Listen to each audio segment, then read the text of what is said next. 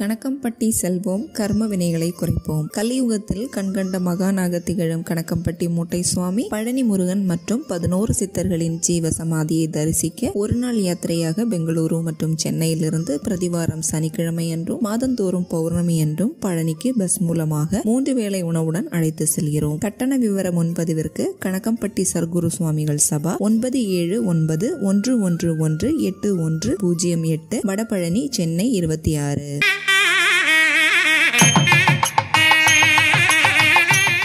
சக்தி ஜோதிட குழுவின் சார்பாக கடவுளர் டிவி நேயர்கள் அனைவருக்கும் அநேக நமஸ்காரங்கள்.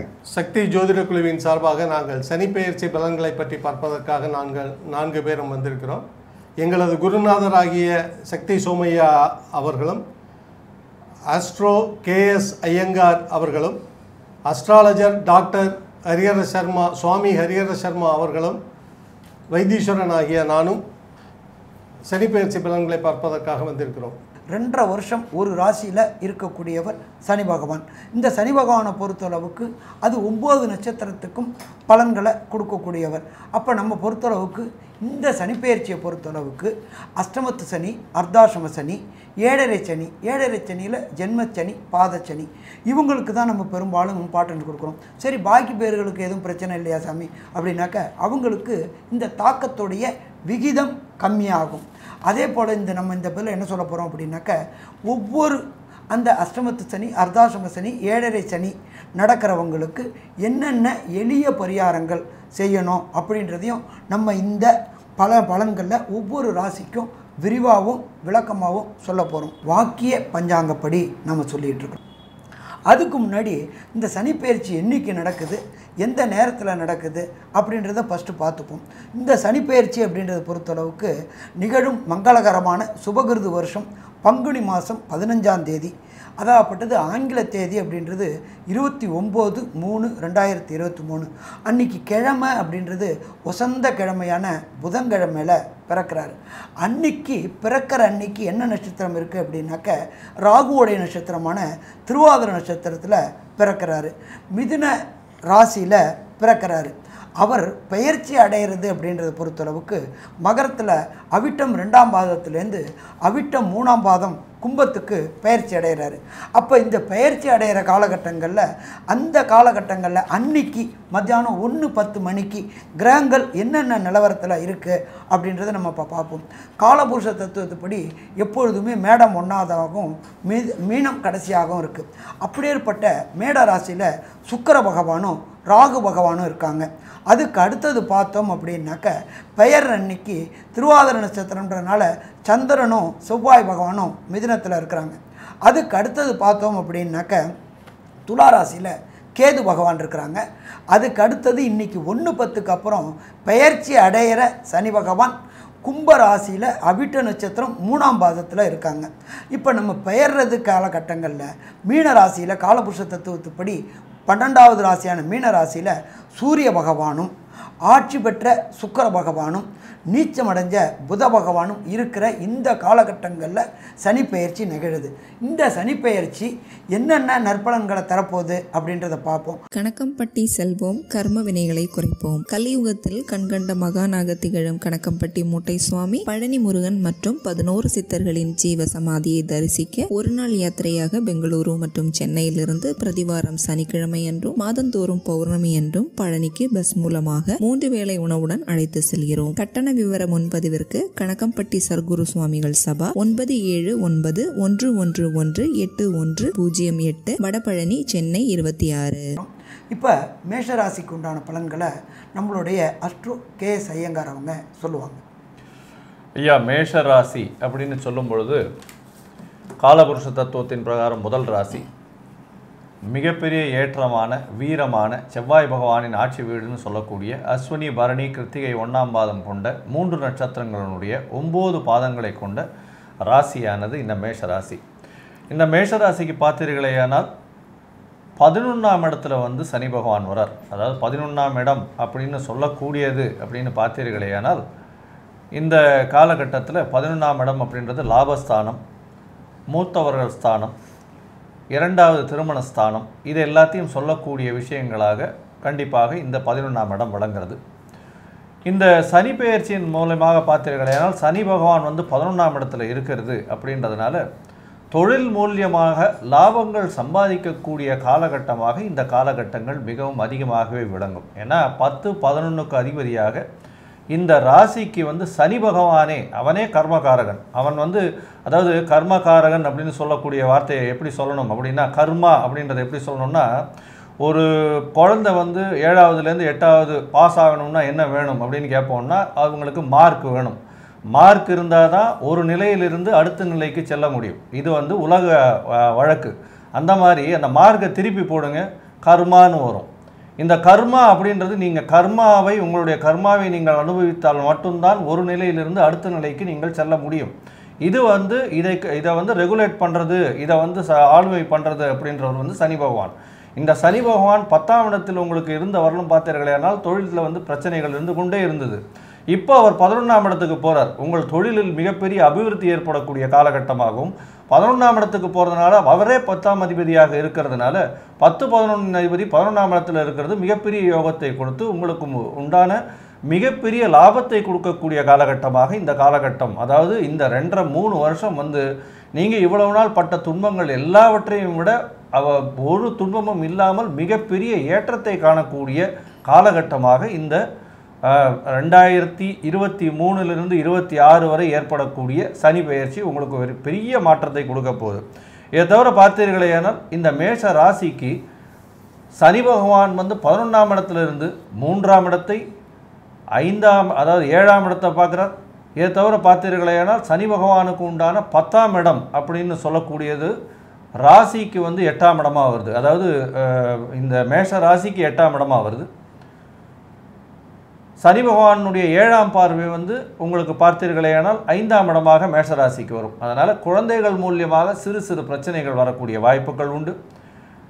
உடல் நலத்தில் கொஞ்சம் கேடுகள் இருக்கக்கூடிய காலகட்டமாக இருக்கும். ஏன்னா சனி பகவான் ஆட்சி பெற்ற ஆண் சனி அவர் வந்து மூன்றாம் பார்வையாக மேஷத்தை பார்க்கிறார் அப்படின்னும் பொழுது கண்டிப்பாக உங்களுக்கு வந்து உடல் அதாவது என்ன சொல்கிறது இந்த சிறுநீரகம் வெளியில் செல்லக்கூடிய இடங்கள்லாம் பிரச்சனைகள் வரக்கூடிய கழிவு உபாதைகள் இருக்கக்கூடிய இடங்கள்லாம் பிரச்சனை வரக்கூடிய காலகட்டங்களாக இந்த காலகட்டம் இருக்கும். சீனியர் சிட்டிசன்ஸ் வந்து அவர்களுடைய உடல் நலத்தை மிகவும் ஜாக்கிரதையாக பார்த்து கொண்டு பார்ப்பது ரொம்ப நல்லது. அருகில் இருக்கும் வைத்தியர்களை ரெகுலர் செக்கப்புக்கு போகிறது மிகவும் நல்லது அப்படின்றதையும் சொல்கிறோம் இதற்கு மேலே பார்த்தீர்களே ஆனால் சனி பகவான் இருக்கும் இடத்தை விட பார்த்த இடத்தை நாசம் செய்யக்கூடியவர் அப்படின்றது தான் வந்து ஜோதிட வழக்கு. இப்போ இந்த பார்த்த இடம் என்னென்ன விஷயங்கள் அனுபவிக்கும் அப்படின்றத பற்றி ஐயா வைத்தீஸ்வரன் ஐயா சொல்லுவாங்க. ஐயா அருமையாக சொன்னீங்க. இப்போ சனி வந்து பதினோராம் இடத்திற்கு வர்றதுனால மேஷத்துக்கு மட்டும் சனி பகவான் வந்து பத்து பதினொன்றுக்கு அதிபதி. அதனால் இப்போ வந்து பதினொன்றாம் இடத்துக்கு வர்றதுனால அவர் வந்து இதுவரை நிறைவேறாத ஆசைகள் நிறைவேறாத விஷயங்களை நிறைவேற்றி கொடுப்பாரு. பதினொன்றாம் இடத்துக்கு சரி வர்றது இதுவரை தொழிலில் இருந்த ச- பிரச்சனைகளும் எதை எதிர்பார்த்து காத்திருந்தாங்களோ அது கிடைக்காத விஷயங்கள் கிடைக்கிறதுக்கும் வழி பண்ணுவார். அதாவது சிறு வயதினருக்கு காதல் அந்த மாதிரி காதல் வெற்றிகள் எந்த வெற்றியாக இருந்தாலும் லாபமாக இருந்தாலும் வெற்றியாக இருந்தாலும் இந்த சனி பெயர்ச்சி அவங்களுக்கு நல்ல பலன்களை கொடுக்கும். இந்த சனி பெயர்ச்சி அவங்களுக்கு ஒரு நல்ல வெற்றிகரமான சனி பெயர்ச்சியாக இருக்கும். ஐயா சொன்னது மாதிரி மூன்றாம் பார்வையாக ராசியை பார்க்கறதுனால உடல் நலத்தில் கொஞ்சம் கவனம் செலுத்தணும். அதே டைமில் ஆறாம் இடத்தையும் பார்க்குறார். அதனால அது நோய்க்கு கட்டுப்படுற நோய்களாக மருந்துக்கு கட்டுப்படுற நோய்களாக இருக்கும். அதனால் மருந்து உடனே வைத்தியரை அணுகி மருத்துவரை அணுகி அதுக்கு தகுந்த வைத்தியம் பண்ணிக்கிட்டீங்கன்னா உடனே குணமாயிட மா- இருக்கும். அதே மாதிரி எட்டாம் இடத்தையும் பார்க்குறார். எட்டாம் இடத்தையும் சனி பார்க்குறதுனால இவங்களுக்கு வந்து புதிய முயற்சிகளில் கொஞ்சம் தடைகள் இருக்கும். அதனால் கொஞ்சம் கவனமாக இவங்க வந்து எதை செஞ்சாலும் கொஞ்சம் கவனமாக செஞ்சாங்கன்னா நல்ல பலன்கள் கிடைக்கும். அதே டைமில் கவனம் வந்து வாகனம் ஓட்டுறதுலேயும் இவங்க கொஞ்சம் கவனமாக இருக்கணும். வயதானவர்கள் வந்து கொஞ்சம் கவனம் எடுத்துக்கிறது ரொம்ப நல்லதாக இருக்கும். அதே மாதிரி இப்போ இருக்கிற முயற்சியில் வயதானவர்களுக்கு இல்லாமல் தொழில் முனைவோர்களுக்கு வந்து இந்த சனிப்பெயர்ச்சி பெரிய பலன்களை நல்ல பலன்களையே கொடுக்கும். ஏன்னால் இதுவரை லாபம் இல்லாமல் தொழிலையே செஞ்சிட்டு இருந்தவங்களுக்கு இப்போ வந்து லாபம் கிடைக்கும். இதுவரைக்கும் போட்ட முயற்சிகள் அத்தனைக்கும் பலன்கள் கிடைக்கிற சனிப்பெயர்ச்சியாக இது இருக்கும். இந்த சனிப்பெயர்ச்சியில் வரக்கூடிய மற்ற பெயர்ச்சிகள் ராகு கேது பயிற்சி ஆகட்டும் குரு பயிற்சி ஆகட்டும் இந்த மூணு வருஷத்தில் நடக்கிற அத்தனை பயிற்சிகளும் மேஷத்தை பொறுத்தவரை ஓரளவு நல்ல பயிற்சிகளாகவே இருக்குது. அதனால் இந்த மூணு வருஷமும் அவங்க வந்து கொஞ்சம் ஓரளவு நல்ல முயற்சிகளுக்கு நல்ல பலன்கள் கிடைக்கும். ஆனால் அதே டைமில் இந்த முயற்சிகளுக்காக உடல் நலத்தை கெடுத்துக்காம அவங்க எவ்வளவு முயற்சி பண்ணுறாங்களோ அது நல்லதாக இருக்கும். மேற்கொண்டு விஷயங்களை பற்றி ஐயா சக்தி சோமையா ஐயா விளக்குவாங்க.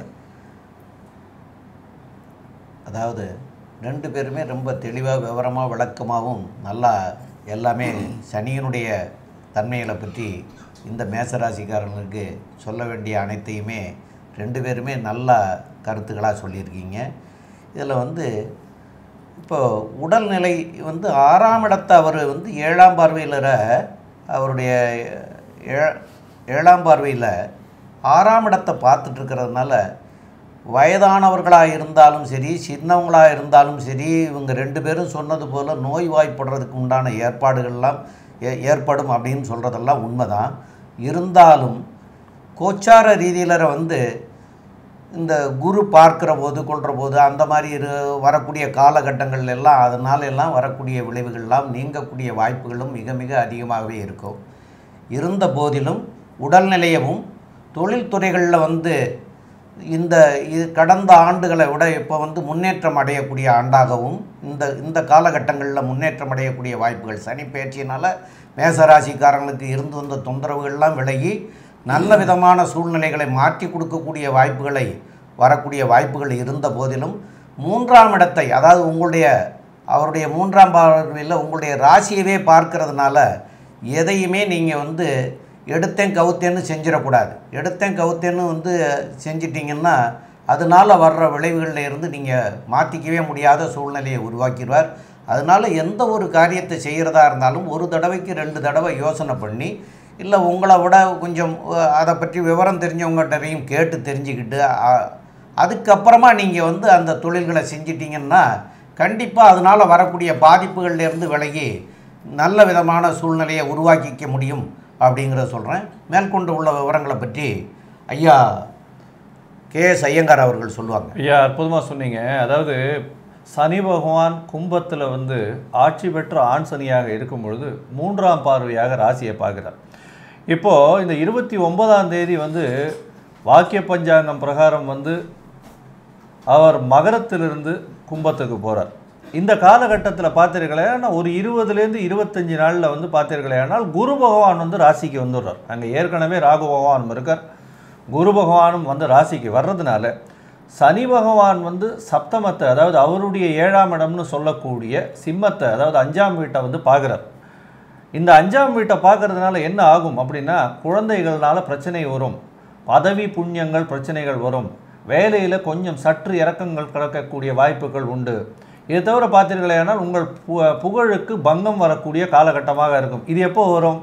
அப்படின்னா இருபத்தி ஒம்பது மூணுலேருந்து இருபத்தி மூணு நாலு ரெண்டாயிரத்தி இருபத்தி மூணு வரலும் இந்த இருபத்தஞ்சி நாளில் குரு பகவான் பயிற்சி ஆகாமல் இருக்கக்கூடிய காலகட்டத்தில் பார்த்தீங்கன்னா கண்டிப்பாக இந்த ரெ- இந்த ஒரு இருபத்தஞ்சி நாட்கள் கொஞ்சம் ஜாகிரதையாக இருக்கிறது ரொம்பவும் நல்லது. ஏன்னா குரு பகவான் வந்துட்டாருன்னா அவரும் வந்து அஞ்சாம் இடத்தை பார்க்குறார். தன்னுடைய அஞ்சாம் பார்வையில் வந்து அந்த சிம்மத்தை வந்து சுபத்துவ படுத்துறதுனால கண்டிப்பாக குழந்தைகள் மூலியமாக மிகப்பெரிய ஏற்றம் உங்களுக்கு வந்து தொழிலில் அபிவிருத்தி அது தவிர பார்த்துருக்கலாம் உங்களுடைய புகழ் உங்களுடைய என்ன அந்தஸ்து கௌரவம் எல்லாமே நிச்சயமாக மிகப்பெரிய ஏற்றத்தை கொடுக்கும். எப்போவுமே ஒரு வாழ்க்கையில் பார்த்தீர்களே ஆனால் பணம் புகழ் கௌரவம் அந்தஸ்து இந்த நாலு விஷயத்துக்கு தான் எல்லா விதமான மக்களும் சொல்வார்கள்.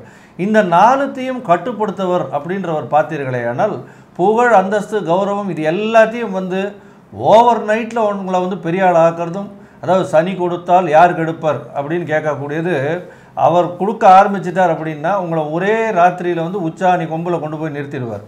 அதே சனி பகவான் வந்து உங்களை தலகுப்புற ஆக்கணும் அப்படின்னா நீங்கள் இருக்கிற இடம் தெரியாமையும் போகக்கூடிய வாய்ப்புகள் உண்டு. அதனால் இந்த வாட்டி பார்த்தீர்களேயானால் மேஷ ராசிக்கு மூன்றாம் பார்வையில் வந்து சனி பகவான் பார்த்தாலும் சப்தமா சப்தம ஸ்தானத்தை அதாவது அஞ்சாம் இடத்தையும் வந்து ஏழாம் பார்வையாக பார்த்தாலும் எட்டாம் இடத்தையும் வந்து உங்களுடைய ராசிக்கு எட்டாம் இடத்தையும் வந்து அவர் வந்து பார்க்குறார். அதனால் பார்த்தீர்களேயானால் வெளிநாடு வெளியூர் வெளி மாநிலம் சம்பந்தப்பட்ட ஏதாவது ஒரு மிகப்பெரிய விஷயத்தின் பிரகாரமாக உங்களுக்கு மிகப்பெரிய பண வருமானம் வரக்கூடிய வாய்ப்புகள் மிகவும் உண்டு. அதாவது மறைந்த வழியின் வ- வகையாக உங்களுக்கு பண வருமானம் கிடைக்கும்.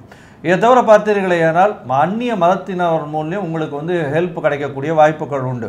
இதற்கு மேலே பார்த்தீர்களே ஏனால் எட்டாம் இடத்தில் இருக்க எட்டாம் பார்வையில் இருக்கக்கூடிய சனி பகவான் வந்து உங்களுக்கு வந்து பத்தாம் இடத்தை பத்தாம் பார்வையில் வந்து சனி பகவான் உங்களுடைய எட்டாம் இடத்தை பார்க்குறதுனால என்ன வரும் அப்படின்னா ரேஸு லாட்ரி அது தவிர வந்து உங்களுக்கு வந்து ஷேர் மார்க்கெட் இந்த மாதிரி திடீர் பண யோகங்கள் நீங்கள் எதிர்பார்க்காத இடத்திலிருந்து வரக்கூடிய பண யோகங்கள் வந்து உங்களுக்கு கண்டிப்பாக வந்து சேரக்கூடிய வாய்ப்புகள் இந்த ரெண்டரை வருஷத்தில் சனி பகவான் மூலியமாக நடக்கும். சரி இது எந்தெந்த தொழிலாளிகளுக்கெல்லாம் மிகப்பெரிய ஏற்றத்தை கொடுக்கும் அப்படின்னு பார்த்தீர்களே. ஆனால் மேஷராசிக்காரர்களை பொறுத்தவரையிலும் இந்த அதாவது இந்த சனி பகவானுக்கு உண்டான தொழில்கள் அப்படின்னு சொல்லக்கூடிய இரும்பு இந்த சைக்கிள் கடை வச்சுருக்கிறவங்க இரும்பு சாதனம் வச்சுருக்கிறவங்க கீழ்த்தட்டு தொழிலாளிங்க அதை தவிர வந்து இந்த ஃபிலிம் இண்டஸ்ட்ரியில் இருக்கக்கூடிய சண்டை பயிற்சி அதை தவிர வந்து செட்டு போடுறவங்க இவங்களுக்கெல்லாம் பார்த்தீர்களேனால் மிகப்பெரிய ஏற்றமான காலமாக இந்த காலகட்டம் நிச்சயமாக இருக்கும். அதுவும் வந்து ஆண் சனி கும்பத்தில் இருக்கிறதுனால கண்டிப்பாக மிகப்பெரிய ஏற்றத்தை இவர்கள் கொடுப்பார். அது எப்போத்திலிருந்து கொடுப்பார்?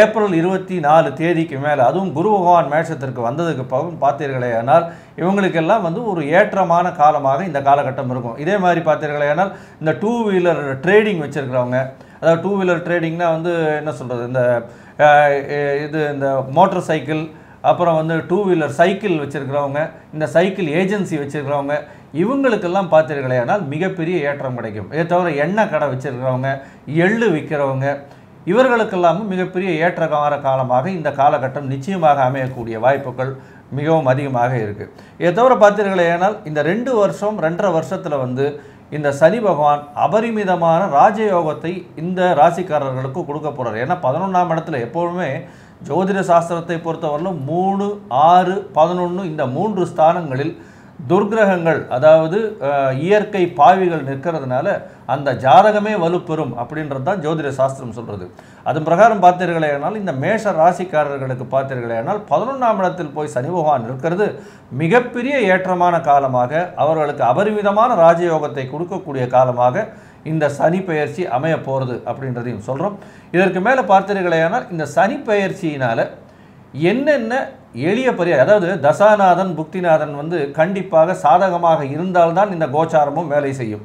ஒருவேளை தசாநாதன் புக்திநாதன் வந்து அந்த அளவுக்கு சாதகமாக இல்லாமல் அவர்களுக்கு இந்த சனி பெயர்ச்சி வந்து ஓரளவு தான் பலனை கொடுக்குறதுன்னா அந்த பலனை இன்னும் அதிகமாக எடுக்கக்கூடிய அளவிற்கு எந்த மாதிரியான சிறு சிறு பரிகாரங்கள் செய்யணும் அப்படின்றத வந்து நம்ம அஸ்ட்ராலஜர் டாக்டர் சுவாமி ஹரிஹர சர்மா ஐயா கிட்ட நம்ம கேட்டு தெரிஞ்சுக்கலாம். ஐயா நல்லா பிரமாதமாக சொன்னீங்க. இப்போ இவங்களை பொறுத்தளவுக்கு எச்சரிக்கையாக இருக்க வேண்டிய காலகட்டங்கள் அப்படின்றத பொறுத்தளவுக்கு மேஷராசிக்காரங்களுக்கு பெயர்ந்த அன்னியிலேருந்து இருபத்தி மூணு நாலு ரெண்டாயிரத்தி இருபத்தி மூணு வரலும். ஏன் அதை சொல்கிறோம் அப்படின்னாக்க சனியோடைய பார்வை தனித்து இருக்கிற ராகு மேலே விழுது. அப்போ அந்த தனித்து இருக்கிற ராகு மேலே விழுறது அப்படின்றது சிறப்பாக சிறப்பு கிடையாது. அதே போல் ராகுக்கு பதினோராம் பார்வை உண்டு. விசேஷ பார்வை. அவரும் படுறாரு. அப்போ இந்த இருபத்தாறு நாள் மிக மிக எச்சரிக்கையாக இருக்கணும் மேஷ நட்சத்திரம் மேஷ ராசிக்காரங்க. அஸ்வினி நட்சத்திரம் பரணி நட்சத்திரம் கார்த்திகை ஒன்றா நட்சத்திரம். இவங்க எல்லாருமே எச்சரிக்கையாக இருக்கணும். அடுத்தது நம்மளோட பொறுத்தளவுக்கு ஒரு சில பேர் எல்லாருமே பயப்படுவாங்க. சாமி எனக்கு அஷ்டமத்து சனி வந்துருச்சு. சாமி எனக்கு அர்த்தாசிரம சனி வந்துருச்சு. ஏழரை சனி வந்துருச்சு. பாத சனி வந்துருச்சு. விரய சனி வந்துருச்சு. அவரை பொறுத்தளவுக்கு சனியை போல கொடுப்பவரும் இல்லை சனியைப் போல கெடுப்பவரும் இல்லை. என்ன அஷ்டமத்து சனி அர்த்தாசிரம சனி ஏழரை சனி வரவங்களுக்கு அவங்க அவங்க நட்சத்திரத்துக்கு உண்டான காலகட்டங்கள். ஒரு ராசியில் ஒம்பது நட்சத்திர பாதம் இருக்குது சனி பகவானை பொறுத்த அளவுக்கு ரெண்டரை வருஷம். ரெண்டரை வருஷம்னாக்கா முந்நூற்றறுபத்தஞ்சு முந்நூற்றறுபத்தஞ்சும் எழுநூற்றி முப்பது. இது ஒரு நூற்றி எண்பது. கிட்டத்தட்ட தொள்ளாயிரத்தி பத்து நாள் அவர் இருக்க போகிறது அப்படின்றது கும்பராசியில் இருக்க போகிறாரு அப்போ அதை ஒம்போதால் வகுத்தோம் அப்படின்னாக்க சற்றேறக்குறைய ஒரு நட்சத்திரத்துக்கு நூற்றி ஒரு நாள் இருப்பார். அந்த நூற்றி ஒரு நாள் தான் கெடுபலன்களை தருவாரே தவிர எல்லா நாளும் கெடுபலன்களை தரமாட்டார். ஃபஸ்ட்டு இதை நாம் புரிஞ்சுக்கிட்டோம் அப்படின்னு சொன்னாலே எச்சரிக்கையாக இருக்கலாம். சரி சாமி நான் நூற்றி ஒரு நாள் மட்டும் இருக்கிறேன். அதுக்கப்புறம் எனக்கு எல்லாத்தையும் அள்ளி கொடுப்பாரா? அள்ளி கொடுக்க மாட்டார். கிள்ளி கொடுப்பார். அப்போ எப்பொழுதுமே அவர் சனி பகவானை பொறுத்தளவுக்கு நியாயவான் சத்தியவான் ஈஸ்வர பட்டம் பெற்றவர் தண்டனை கொடுக்குறதுனாலும் சரி அள்ளி கொடுக்குறதுனாலும் சரி அவரை போல் யாரும் கிடையாது. சனி கொடுப்பதை யாராலும் தடுக்கவும் முடியாது கெடுக்கவும் முடியாது. இது ஜோதிட சாஸ்திரத்தில் சொல்லியிருக்கு. அப்போ நாம் இந்த நூற்றி ஒரு நாள் கடுமையான எச்சரிக்கையில் இருந்துக்கணும். சரி இது நான் இந்த நூற்றி ஒரு நாள் நான் எப்படி சாமி கால்குலேஷன் பண்ணணும்? அஸ்வினி நட்சத்திரம். அஸ்வினி நட்சத்திரம் ஒன்றாம் பாதம். அஸ்வினி ரெண்டு அஸ்வினி மூணு அஸ்வினி நாலு. அப்போ இவங்களை பொறுத்தளவுக்கு அஸ்வினி நட்சத்திரம் ஒன்றாம் பாதத்தில் பிறந்தவங்க. இருபத்தி ஒம்பது மூணு ரெண்டாயிரத்தி இருபத்தி மூணுலேருந்து நூற்றி ஒரு நாள். அதுக்கு அடுத்தது அஸ்வினி நட்சத்திரம் ரெண்டாம் பாதம். அதுலேருந்து நூற்றி ஒரு நாள். இப்படியே ஒவ்வொரு நட்சத்திரக்காரங்களும் நூற்றி ஒரு நாள் நூற்றி ஒரு நாள். அதே போல் அஸ்வினி ஒன்று ரெண்டு மூணு நாள் பரணி ஒன்று ரெண்டு மூணு நாள் கார்த்திகை ஒன்று இவங்க இந்த காலகட்டங்களில் எச்சரிக்கையாக இருக்கணும். சரி சாமி இதை பொறுத்தளவுக்கு சொல்லிட்டீங்க நூற்றி ஒரு நாள்ன்ட்டு. இந்த காலகட்டங்கள்லையும் உள்ள பிரச்சனை எனக்கு நடக்கிற தசாபுத்தியும் பிரச்சனையாக இருக்குது அப்படின்னு சொன்னால் ஒரே ஒரு விஷயங்க. யாரால் பாதிப்போ அவங்கள்ட்ட சரணாகதி அடைகிறது தான் நம்மளுடைய ஜோதிட சாஸ்திரத்தில். இப்போ ஒரு உதாரணம் வச்சுங்களேன். உங்களுக்கு எனக்கு டிஃப்ரெண்ட் ஆஃப் ஒப்பீனியன் வந்துருச்சு. உடனே நான் என்ன பண்ணுவேன் சாரி அப்படிம்பேன். சாரின்னு சொன்னோட்டு நீங்கள் என்ன சொன்னீங்க? தட்ஸ் ஓகே இது மனிதர்களுக்குள்ள குணம். இதையே தெய்வத்திற்கு உள்ள கணம் தெய்வத்துடையது தான் அவர் தெய்வம் வந்து நேரடியாக செய்ய மாட்டார். அதனால் அவர் ஒவ்வொரு கிரகங்களை செய்ய போகிறாரு அப்போ இந்த சனி பகவான்கிட்ட சரணாகதி அடையிறது. ஒரு சில பேர் கேட்பாங்க உனக்கு தான் ஏழரை சனி பிடிச்சிருக்கு உனக்கு தான் அர்த்தாசிரம சனி பிடிச்சிருக்கு. நீ ஏன் திருப்பி அவரே போய் பார்க்குற? அவர் திருப்பி உன்னை பிடிச்சிப்பாரு அப்படின்னு நினைப்பேன். அது கிடையாது. அவரிடம் சரணாகதி அடைகிறது அப்பா என்னை மாதிரி இது மாதிரி பிடிச்சிருக்கிற? என்னை கொஞ்சம் பார்த்துக்கப்பா அப்படின்னு சொல்லும்பொழுது அவர் கொடுக்கக்கூடிய ஐயா இதில் வந்து ஒரு சின்ன விஷயத்தை சொல்கிறேன். சரணாகதி அப்படின்ற தத்துவம் வரும்போது பார்த்தீர்களேயானால் குலசேகர ஆழ்வாரின் பாடல் ஒன்று ஞாபகத்துக்கு வருது. அதாவது வாளால் அறுத்து சுடினும் மருத்துவன் பால் மாளாத காதல் நோயாளன் போல். மாயத்தால். மீளா துயர்தரினும் வித்துவ கோட்டம்மானே ஆளா உணதருளேல் பார்ப்பனடியன் அப்படின்ற ஒரு பாட்டு இந்த பிரபந்தத்தில் இருக்கக்கூடிய பாட்டு ஒன்று ஞாபகத்துக்கு வருது. அதில் பார்த்தீர்களேயானால் ஒரு ஒருவருக்கு ஒரு சின்ன உடம்புல கட்டி வருது இல்லை வந்து நகை சுற்றி வருது. பக்கத்தில் இருக்கிற டாக்டர் இவரால் தனியாக க்யூர் பண்ண முடியல. பக்கத்தில் இருக்கிற டாக்டர்கிட்ட போகிறார் போயிட்டு தன்கிட்ட இருக்கக்கூடிய காசை எடுத்து அவர்கிட்ட கொடுத்து ஐயா நீங்களே வந்து ஒரு கத்தியை வாங்கி இந்த கட்டியை கீறி விடுங்க அப்படின்னு சொல்கிறாரு அப்படி பார்க்கும்போது பார்த்தீங்கன்னா நீங்களே காசை கொடுத்து கத்தியை வாங்கி என்னை வெட்டு அப்படின்ற அளவுக்கு வேறு வழியே எனக்கு தெரியலன்ற அளவுக்கு போகிறது தான் வந்து நம்ம வந்து நம்ம அந்த தெய்வத்துக்கிட்ட சரணாகதி அடையிற தத்துவம். இது மாதிரி நம்மளுடைய கஷ்ட காலத்தில் எந்த ஒரு கஷ்டம் வரும் பொழுதும் சரணாகதி அப்படின்னும்பொழுது உன்னை இல்லால் வேறு தெய்வம் இல்லை அப்படின்ற ஒரு மனப்பக்குவத்தை ஏற்படுத்தி கொண்டால் எவ்வளவு பெரிய கஷ்டமாக இருந்தாலும் சரி அது மிகப்பெரிய மாற்றத்தை கொடுக்கும். கண்டிப்பாக கண்டிப்பாக ஐயா நீங்கள் சொன்னது உண்மையா நூறு சதமான உண்மை. சரி இப்போ நான் என்ன பண்ணணும் சாமி? மேசராசியில் உள்ளது. அப்படின்னாக்க நீங்கள் சரணாகதி அடைய வேண்டிய இடம் நம்மளுடைய காரைக்கால் பக்கத்தில் திருநள்ளாறு அப்படின்ற இடம் இருக்குது அது வந்து நவகிரகத்தில் சனீஸ்வர பகவானுக்கு தனி சன்னிதானம் கொண்டு வந்த ஸ்தலம். இதில் ஃபஸ்ட்டு என்ன பண்ணணும் அப்படின்னாக்க ஈஸ்வரனுக்கு ஒரு அர்ச்சனை தாயாருக்கு ஒரு அர்ச்சனை சனீஸ்வரனுக்கு இந்த ரெண்டரை ஆண்டு காலம் இந்த ரெண்டரை ஆண்டு காலம் அப்படின்றது இருபத்தி ஒம்பது மூணு ரெண்டாயிரத்தி இருபத்தி மூணுலேருந்து ஆறு மூணு ரெண்டாயிரத்தி இருபத்தாறுக்குள்ளார ஒரு நாள். எந்த நாள்னு கிடையாது. சனீஸ்வர பகவானுக்கு உகந்த நாள் சனீஸ்வர நான் சனி அப்படிம்பாங்க. ஆனால் நாம சாமியை பார்க்க போகிறோமா சாமி நம்மளை பார்க்கணுமா? அப்படின்னாக்க தெய்வம் நம்மளை பார்த்தாச்சு அப்படின்னா ஒரு செகண்ட் பார்த்தாச்சுன்னா நம்மளுடைய வாழ்க்கையே பரட்டி போட்டுரும். அப்போ கூட்டம் இல்லாத நாள் அப்படின்ற பொறுத்தளவுக்கு ஒரு செவ்வாய்க்கிழமை போனீங்கன்னா கூட பரவாயில்ல. ஃபஸ்ட்டு போய் என்ன பண்ணணும் அப்படின்றத சொல்லிடுறேன். ஏன்னா இது ரெண்டரை வருஷம் பயிற்சி. அதனால் கொஞ்சம் பலன் இதுவாக பரிகாரம் கொஞ்சம் கூடுதலாக இருக்கும். ஃபஸ்ட்டு போகிறீங்க அங்கே போய் மண்ணில் தங்குறீங்க. முதல் நாள் போயிட்டு நைட்டு ரூம் எடுத்து தங்குறீங்க. நேராக காலையில் ஒரு அஞ்சு மணிக்கு எழுந்திரிச்சிட்டு நலகுளத்துக்கு போகிறீங்க நலகுளத்தில் நல்லெண்ணெயை வாங்குங்க. அதில் ஒரு இழுப்ப செட்டியில் நல்லெண்ணெயை ஊற்றிட்டு அதில் ஒரு உருவா காயினை போட்டு முகத்தை பாருங்கள் முகத்தை பார்த்துட்டு அதில் ஒரு சொட்டு நல்லெண்ணெய் எடுத்து தள்ள தேய்ச்சிக்கிட்டு நலகுளத்தில் ஸ்நானம் பண்ணுங்க. நலனுக்கு பாப விமோசனம் கொடுத்த இடம் நலகுளம் அதில் ஸ்நானம் பண்ணிவிட்டு அந்த எண்ணெய் சட்டியை நல களி தீர்த்த விநாயகர்ன்ற கோயில் அந்த குளத்து கரையிலேயே இருக்கும். அந்த கோயிலில் உள்ள ஐயர்கிட்ட கொடுங்க. கொடுத்துட்டு எடுத்தாப்புல ஒரு சூர தேங்காயை வாங்கி சூறக்காயை உடைங்க.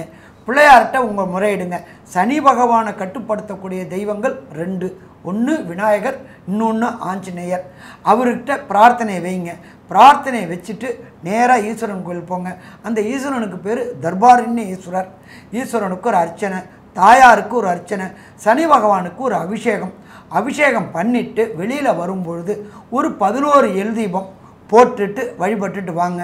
வெளியில் வந்து விட்டு ஒரு பதினோரு பொட்டலை சாப்பாடு வாங்கி கால் கை அதாகப்பட்டது உடல் ஊனமிற்றோர் அங்கஹீனம் உள்ளவங்களுக்கு இந்த தானத்தை பண்ணிட்டு வந்தீங்கன்னாக்க இந்த ரெண்டரை வருஷமுமே நீங்கள் பிரச்சனையை விட்டு வெளியில் வர முடியுமா? பிரச்சனையை விட்டு வெளியில் வர முடியும். இதை தவிர மேஷ ராசிக்கு இந்த சனிப்பெயர்ச்சி மொத்த பலன்களுடைய கன்க்ளூஷன் என்ன அப்படின்றத நம்மளுடைய அஸ்ட்ரோ கே எஸ் ஐயங்கார் அவங்க சொல்லுவாங்க.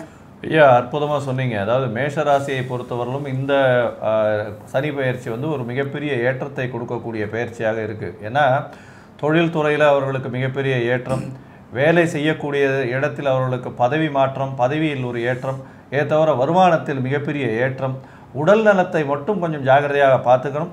குழந்தைகளுடைய ஏற்றத்தில் மிகப்பெரிய அபரிமிதமான ஏற்றங்கள் இருக்கக்கூடிய காலகட்டமாக இருக்குது ஏன்னா இந்த பதினொன்றாம் இடத்துல வந்து சனி பகவான் வர்றது இது வந்து என்ன சொல்கிறது பதினொன்றாம் இடத்தில் வரக்கூடிய சனி பகவான் மிகப்பெரிய ஏற்றத்தை இந்த மேஷராசிக்காரர்களுக்கு கொடுக்க போகிறார் இதை தவிர பார்த்தீர்களே ஆனால் உங்களுக்கு அதாவது திருமணம் ஆகி இரண்டாவது திருமணத்திற்கு பார்த்து கொண்டு இருப்பவர்களுக்கு இந்த காலகட்டத்தில் திருமண இரண்டாம் திருமணம் ஆகக்கூடிய பாக்கியம் நிச்சயமாக உண்டு. குரு பெயர்ச்சி ஆன உடனே அந்த திருமண பாக்கியங்களும் நிச்சயமாக இந்த காலகட்டத்தில் ஆகக்கூடிய வாய் வாய்ப்புகள் உண்டு. எக்ஸாம் அதாவது காம்படிட்டிவ் எக்ஸாம் எழுதக்கூடிய இவங்க ஸ்டூடெண்ட்ஸுக்கு பார்த்தீர்களேயானால் வெளிநாடு வெளிமாநிலம் வெளியூர் சம்பந்தப்பட்ட இடத்தில் அவர்களுக்கு படிப்புக்கு மேற்படிப்புக்கு செல்லக்கூடிய வாய்ப்புகள் நிச்சயமாக கிடைக்கக்கூடிய காலமாக இருக்கும். கவலைப்பட தேவையில்லை. இதை தவிர பார்த்தீர்களேயானால் உடல் நலத்தில் ஏற்கனவே சொன்ன மாதிரி சீனியர் சிட்டிசன்ஸ் வந்து உடல் நலத்தில் கொஞ்சம் ஜாகிரதையாக இருக்கணும். அது மட்டும் ரொம்ப ஜாகிரதையாக இருக்கிறது நல்லது. அப்போ அருகில் இருக்கக்கூடிய மருத்துவர் இல்லை உங்களுக்கு ரெகுலராக வச்சுட்டு இருக்கிற மருத்துவரை போய் அணுகி அந்த ரெகுலர் செக்கப் வச்சுக்கிறது வந்து உங்களுக்கு மிகப்பெரிய ஏற்றத்தை நிச்சயமாக கொடுக்கும். ஐயா சொன்ன மாதிரி சின்ன சின்ன பரி பரிகாரங்களையும் செய்து வந்தீர்களேயானால் அதாவது தசாநாதன் புக்திநாதன் சரியில்லாத பட்சத்தில் இந்த பரிகாரங்கள் தேவைப்படும். ஏன்னா இந்த வாட்டி வந்து மேஷராசிக்கு ஒரு குபேர யோகத்தை கொடுக்கக்கூடிய காலமாக இந்த காலம் அமைய போகுது ஐயா வைத்தியஸ்வரன் சொன்ன மாதிரி இந்த மூணு வருஷமுமே மிகப்பெரிய ஏற்றத்தை கொடுக்கக்கூடும் அப்படின்றத சொல்லி லோகா சமஸ்தா சுகினோ பவந்து என்னுடைய இந்த மேஷராசிக்காரர்களுக்கு மிகப்பெரிய ஏற்றமாக இந்த சனி பெயர்ச்சி அமையும் அப்படின்றத சொல்கிறோம் நன்றி வணக்கம். கடவுள் அருள் டிவியை பார்த்தமைக்க நன்றிகள். மேலும் இது போன்ற தகவல்களை தெரிந்து கொள்ள கடவுள் அருள் டிவியை சப்ஸ்கிரைப் செய்யுங்கள். மறக்காமல் பெல் ஐக்கானை கிளிக் செய்யுங்கள்.